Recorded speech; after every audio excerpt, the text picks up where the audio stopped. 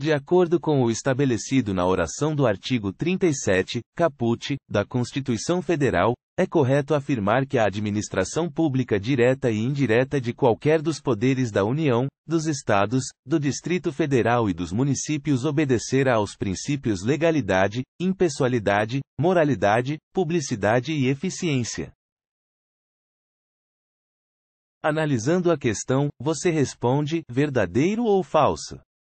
O gabarito é verdadeiro. Artigo 37. A administração pública direta e indireta de qualquer dos poderes da União, dos Estados, do Distrito Federal e dos municípios obedecerá aos princípios de legalidade, impessoalidade, moralidade, publicidade e eficiência e, também, ao seguinte: